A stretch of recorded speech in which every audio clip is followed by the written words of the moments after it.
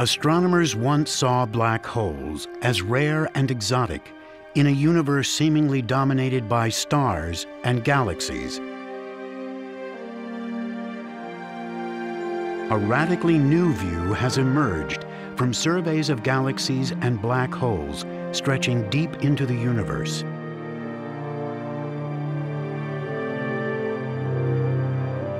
Giant black holes lurk in the dust lanes and swirling gas clouds at the centers of nearly every large galaxy. What's more, the larger the galaxy, the larger the black hole. That's a clue that they must have evolved hand in hand, each shaping the life story of the other.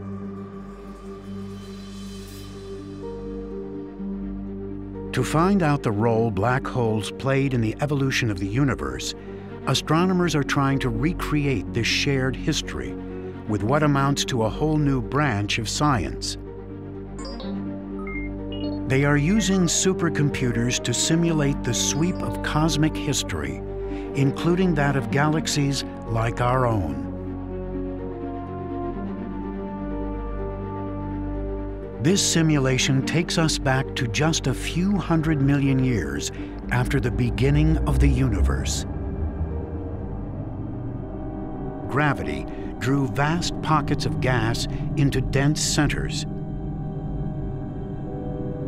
They grew hotter and hotter, igniting to become the first generation of stars.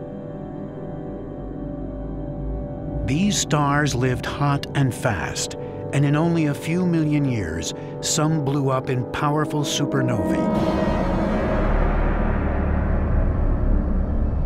From these stars likely came the first generation of black holes.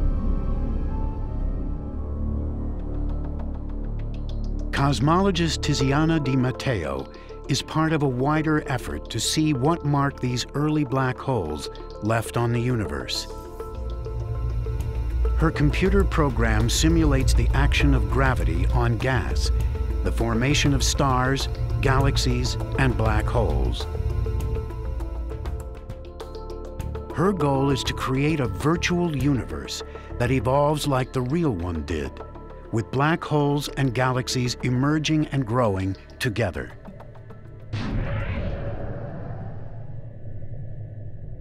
Our Milky Way galaxy is located in a quiet part of the universe, with relatively few other galaxies around it.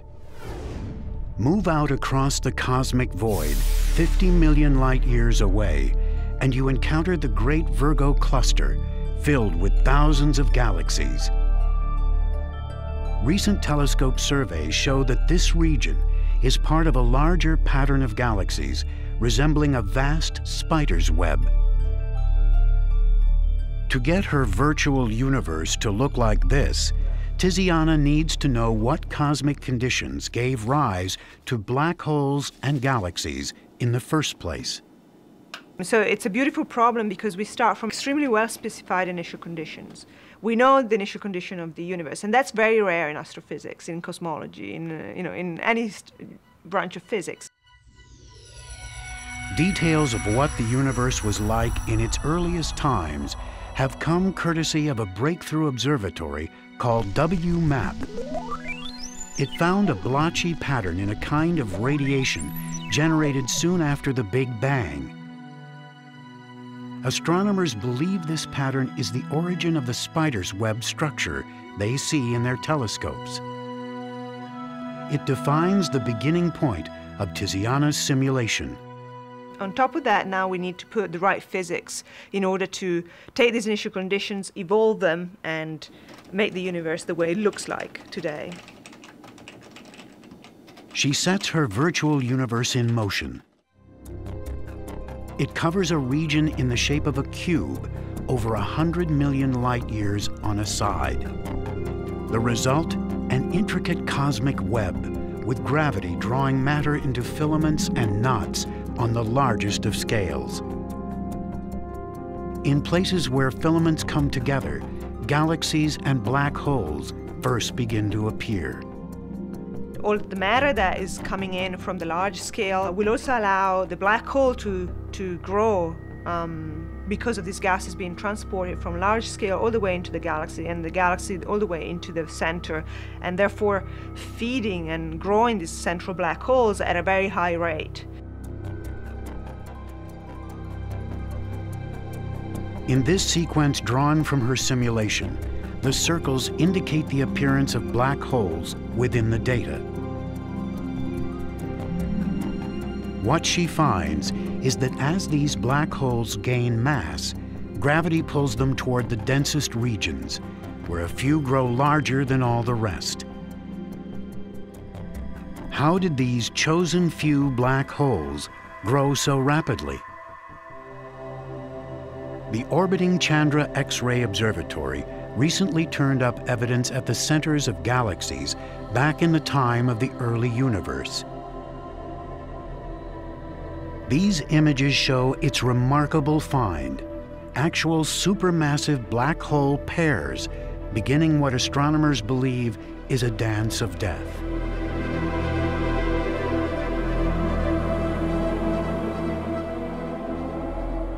In most cases, their forward momentum simply causes them to go into orbit around each other, like a planet around a sun. This orbit can go on for billions of years. To grow large, one black hole must draw the other in, close enough to swallow it.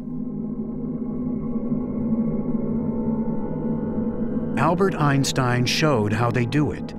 He predicted that when massive bodies accelerate or whip around each other, they can stir up the normally smooth fabric of space-time.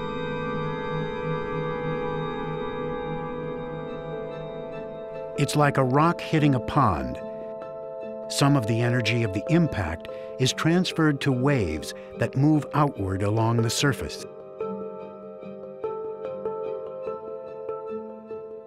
Likewise, a titanic collision of black holes would send waves gravity waves racing across the universe. So you have two tornadoes embedded in a third larger tornado, and they're going to come crashing together, and you want to know what happens when these tornadoes are not made from whirling air, but made from whirling warped space and time. This simulation shows what happens. As two black holes get close, they turn space into a turbulent sea of gravity waves.